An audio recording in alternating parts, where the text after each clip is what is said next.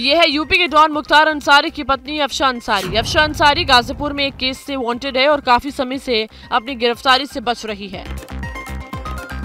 गाजीपुर में अपराधियों पर नकेल कसने की मुहिम के तहत पुलिस ने जिन 12 अपराधियों की लिस्ट बनाई है उनमें अफशा अंसारी भी शामिल है। पुलिस ने अफशा पर इनाम की रकम पच्चीस हज़ार ऐसी बढ़ाकर पचास हज़ार रूपए रख दी है। अफशा अंसारी के खिलाफ धारा 406, 420, 386 और 506 के तहत मुकदमा दर्ज है। अफशा पर 5 मार्च को पच्चीस हज़ार का इनाम घोषित किया गया था। 13 अप्रैल को इनाम बढ़ाकर पचास हज़ार रूपए किया गया है। रवि जनपद में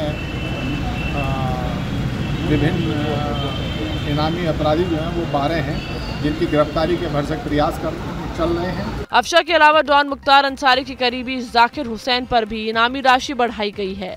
उस पर भी इनामी राशि पच्चीस हज़ार ऐसी बढ़ाकर पचास हज़ार कर दी गई है। डॉन मुख्तार अंसारी खुद बांदा की जेल में बंद है।